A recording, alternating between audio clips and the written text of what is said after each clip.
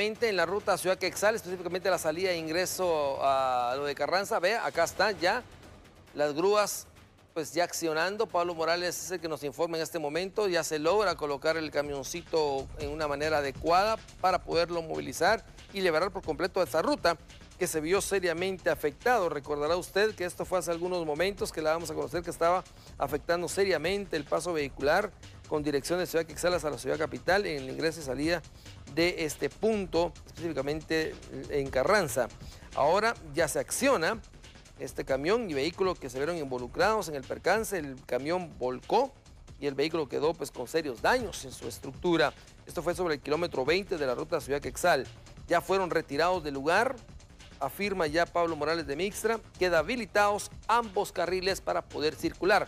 Esto era algunos minutos, ahora ya está liberado, usted puede salir e ingresar sin ningún problema, se mantiene la fluidez vehicular. Eso sí, esto tuvo su efecto para poder llegar hasta este punto. Desde luego, vehículos que querían salir desde muy temprano para su lugar de destino.